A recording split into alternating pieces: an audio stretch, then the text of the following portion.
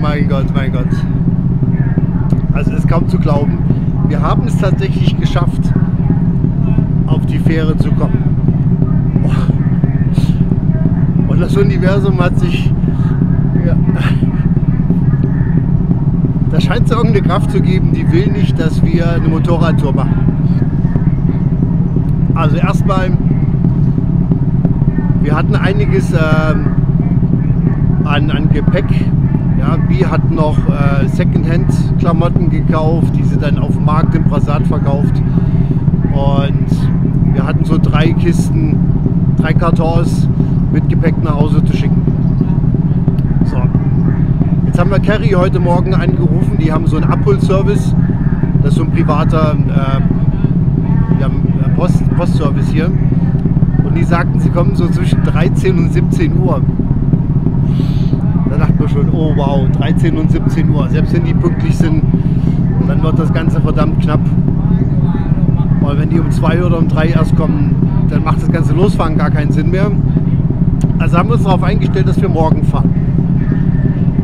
Äh, sind dann Richtung Strand, um eine Runde am Strand zu drehen. Und dann kommt natürlich der Anruf, Carrie ist da. Also schnell zurückgerannt, die Kisten zugeklebt und, und abgegeben, alles gepackt und, und zusammengeräumt. Und beim Zusammenräumen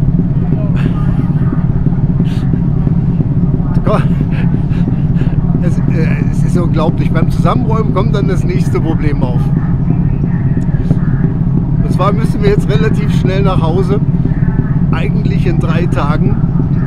Ähm, wir haben einen Käufer, also der Makler hat einen Käufer für ein Stück Land gefunden und das ist alles soweit abgewickelt und die wollen am 31. Äh, das Ganze über die Bühne bringen. Wir haben heute den 27. Und jetzt haben wir hin und her überlegt, was machen.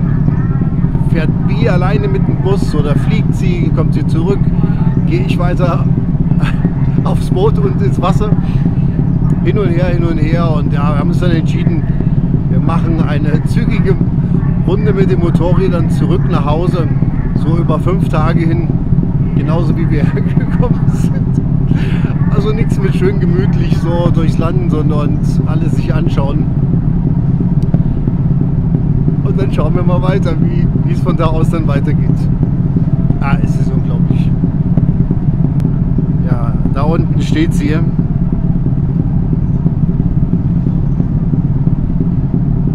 Das ist die neue. Eine Honda CB 500F.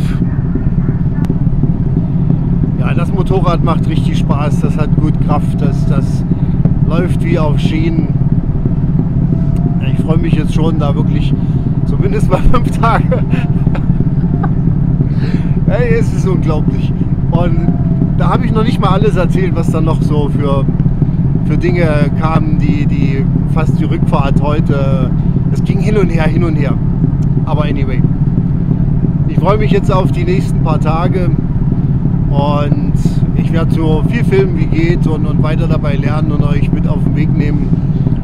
Und ja, wir sehen uns gleich wieder, wenn wir von der Fähre runter sind.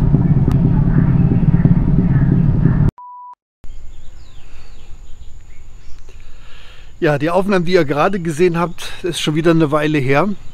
Das war auf der Fähre von Koh Samui äh, aufs Festland.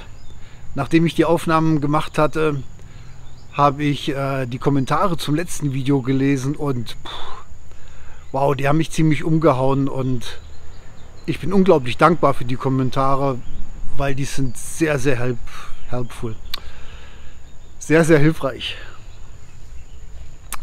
Ich habe mich so ein bisschen festgehangen gehabt an dieser Idee, so, so einen Reisekanal zu machen und euch ja so ein typischer, so im Vlog-Stil euch durchs Land zu führen und ja, irgendwie habe ich mich da so festgebissen und die Idee war, euch visuell mehr bieten zu können, als immer nur hier in, in unseren Gärten auf und ab zu laufen.